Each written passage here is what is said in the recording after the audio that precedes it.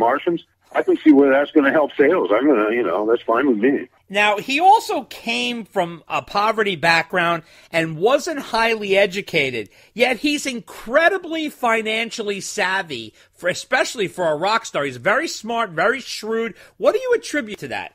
His mother seemed to uh, be uh, a very grounded, commonsensical person, uh, you know, real salt of the earth type, in, instilled Sammy with a tremendous sense of self worth, obviously. Right. He was grounded. He was always nuts about things and, and obnoxious and, and pushy and aggressive, grounded.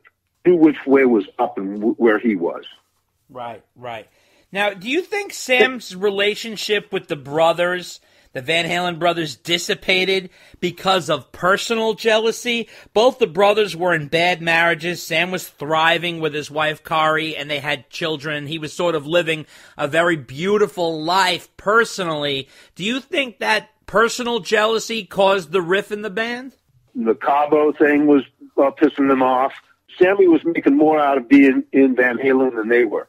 And he was having a better time doing it than they were. There, there's no question that um, it was their band, and here comes this guy who's now like sort of taking it over, and is even seems to be like doing better with it. I don't know how much personal jealousy that is, but it's going to create an imbalance that certainly is going to affect chemistry in the relationship. Obviously, you know, the thing wore thin on the uh, Van Halen brothers, you know, Sammy wore thin on them. Well, let's look at this, Joel. Right now, today, in 2020, Sammy is worth more than every member of Van Halen combined. Yeah, they should have bought in on the tequila when they had the chance. Huh?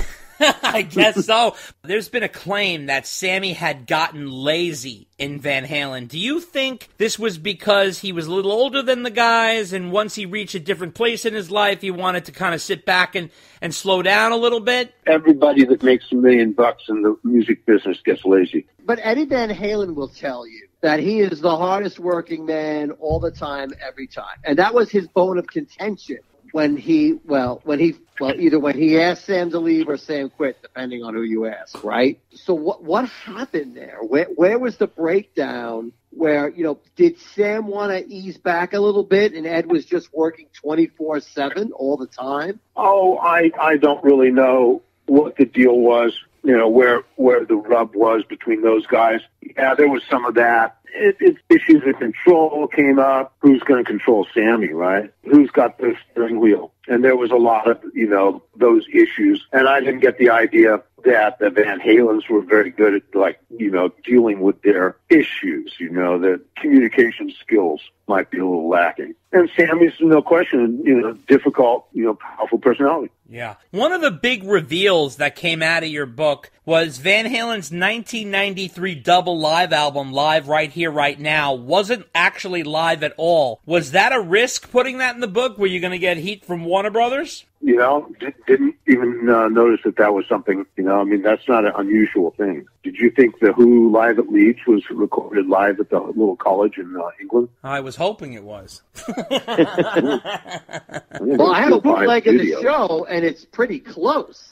But I mean, but the but the way Sam describes it, like everybody except Michael Anthony went back into the studio and re-recorded everything. Yeah, I mean, that's so typical. I, no, I, I I get that live albums aren't exclusively live, and there's always doctoring up in the studio. But still, for for Sam to go out on a limb and just pretty much admit that he wasn't worried about any risk or, or, or pushback from the record company or anything like that. Well, I don't believe he was associated with the record company anymore. And, you know, pushback, I don't think, you know, I don't know. On the level of controversies, you know, oh my God, their live album isn't live, seems pretty weak to me. Now, the Van Halen brothers called Sam while he was down in Cabo when Ed Leffler was dying, telling him to come home, and he doesn't come home. What do you think that was all about? Why didn't Sam go? Uh, you know, we were just talking about the push pull between those guys and you know, the battle for the steering wheel. That was more part of that and and the Van Halens didn't have the same. I mean, Ed Leffler didn't mean anything to them in terms of what he meant to Sammy, and and in fact, you know, Leffler may have been symbolic of Sammy's whole sort of intrusion on their lives. I don't know. Um, well, that's my point. I, I, I, I really, I, I'm going to speculate about this stuff. All I know is what Sammy said. No, I'm just saying You know, that Sam His was point the, of view is the arch. right. Sam was the one who didn't go see Ed. He was partying in Cabo, and the Van Halen brothers were with Ed. So they had called him to come see Ed, and it was weird because he was so closely bonded with Ed Leffler that he didn't go home to see him on his deathbed. Yeah, I, I, I don't, you know, got no uh, comment. I can't remember how that uh, played out. Now, the Ray Daniels saga, do you think that because in the mid 90s, when bands were get, making crazy money on reunions like Kiss and Fleetwood Mac, that Ray Daniels' whole agenda was to get David Lee Roth back in the band in order to cash in on a reunion? I think that was Sammy's idea. Sammy's Uh-huh. idea. Why, why would Sammy want David Lee Roth in the band? No, no, I, I, I think that that was his suspicion about the uh, Ray Oh, Daniels. oh, okay, gotcha, gotcha. Okay.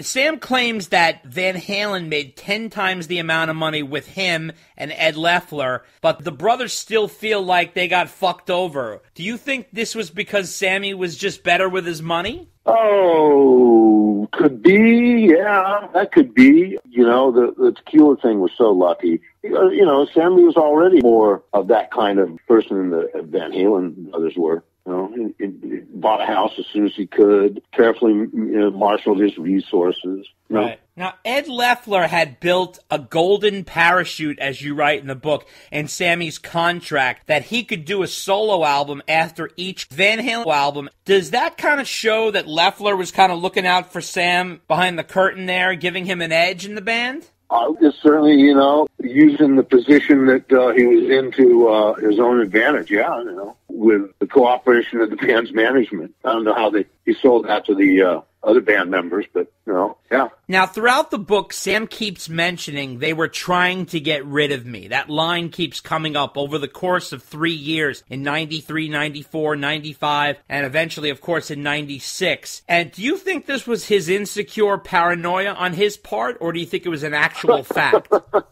Looks like it was, wasn't it? I mean, looks like you know, uh, paranoids have real enemies. So uh, you know, you have to just judge uh, uh, that on what happened. So looks like you know that was reasonable to be careful of, since that is what occurred. Now, there were some intense descriptions of Eddie Van Halen's alcoholism. Were there any concerns about being so revealing about his serious disease in the book? Was there any concerns on the part of the publisher or anybody? So, like I said, Sammy spilled it out. I'll put it in the book. There wasn't any discussion about any politics ever. There wasn't any ever. ever. Sammy said, "Do you think I should?" Ever about anything about the sex, about the drugs, about the money. Well, there weren't really any drugs. None of it. He told the story. I took it down and translated it into a book form. I, I don't really have any responsibility to like make it other than what Sammy told me because that's what the product is. That's what we were writing. We were writing Sammy's story. Right. And Sammy gets to tell his story the way he wants. I'm there to help. Okay. I don't remember once Sammy saying anything about, geez, should we do this? Maybe the other way a couple times he says we should talk about this because it'll help sell books. I think we ought want to say so we should talk about the sex thing. That'll help sell books. more. yeah, Sammy, let's talk about the sex thing. Okay. All right. So, I guess he's it's more Did of the his. publisher ever say anything to you? Yeah, it was edited. They wanted to, you know, the, it was very well edited. And, uh, you know, the guy wanted some more material about arenas, and he wanted some ideas about. He had some, you know, we did a good job on the revises too. Yeah, Okay. a very good editor. Now, also, well, this is the most telling quote in the book, I think. It's from Sam. He says, I had to get out of the band, but I didn't want to quit. I saw what they did to the other guy, meaning Roth. They will lie. they will crucify me. They will kill me with the fans. The fans went against Roth. He died a quick death as a solo artist. Maybe not instantly. He had a brief moment when he went solo, but it didn't take long. And I didn't want that to happen to me. What did you make of this? This is kind of rather dark from Sam's point of view. He's usually a positive guy.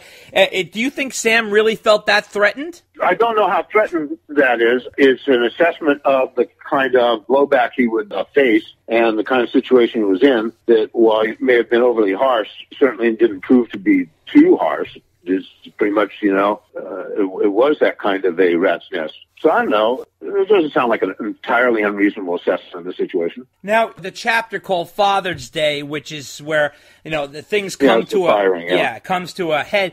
The question is, is that did Sam quit? It appears almost like he did because he got mad and angry that Ed had said that they were going to work with Roth, and he said "fuck you guys" and kind of hung up the phone, and and then got in touch with the manager, which is Ray Daniels at the time, and he said, "Oh, let me talk to Ed," and he said, "No, fuck it, you blew it, it's over." Did you get the impression that Sam quit? Quit or fired, you know, pretty close to the same thing. Those guys are uh, headed to that brawl. It was going to come down one way or the other. I, I, that was the sense I got. Did Sam ever say anything like they were making his life so miserable that they forced his hand to quit? So they could say, oh, yeah, look at Sam, he quit.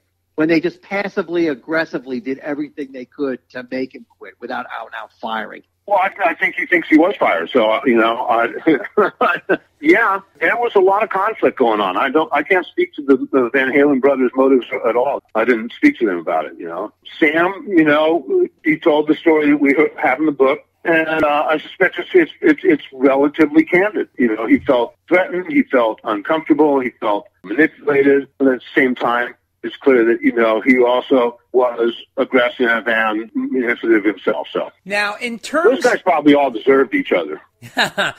Now, it, you do a whole chapter called Samurai Hair on the 2004 Summer Reunion Tour.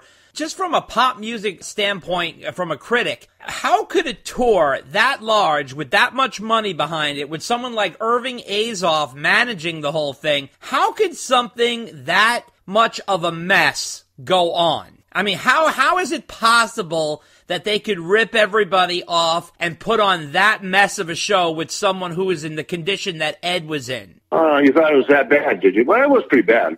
Um, you know, and you thought the the the, the, the Sammy uh, and Dave show was okay too. That wasn't a ripoff. That was Uh, nowhere near, nowhere near the ripoff. I was at both shows. Dave and I were there right in the front. In 2004, the show was like watching someone drive their car into a wall.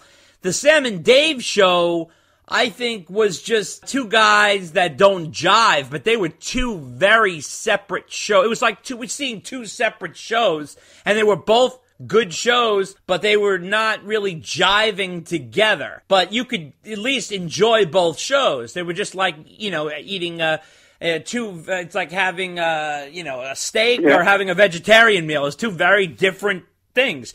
But with the, with No, I the two, actually didn't Right, see the- the uh, Sammy Dave show. I just heard Sammy describe it, but um, the, I did see the reunion show. My recollection is that, that that Sammy was doing everything he could to pop that band up. Oh, sure. No, Everything. no, the whole was band the Sammy was- Hagar show. Yeah. with uh, you know the, the, the, this backup band. Well, Sam, I have really never seen Sammy ever tank. He always sounds good. He's always upbeat. He has a great rapport with the That's audience. true, yeah. He's always great. But and that whole band was playing their ass off, but Ed was literally spiraling out of control. You describe it in the book in full detail the way he was literally, I mean, just falling to pieces between his physical appearance to his mannerisms, the way he spoke to people. I mean, he was dangerous at points. They, you had him in the plane almost smashing the window with a wine bottle. I mean, that was some pretty intense stuff to read, especially from a fan standpoint. What kind of feedback did you get from that? Did you ever hear from the Van Halens or anybody from that end about No, that? I, ne- I never heard. A, I never heard a word from the Van Halens. I have no idea what they thought of the book. I never heard anything they said to anybody about it. What kind of feedback I did gotta go. I gotta get this other call. I have an emergency. I'll call you. I'll I'll talk to you in a little bit. What? Hello? He had an emergency. He said he was going to call back. I think that's a fucking lie. This guy's a piece of work. He ain't calling back. You know goddamn well he's not calling back. What did you make of this? Interesting. yeah. Very interesting, huh? Yes.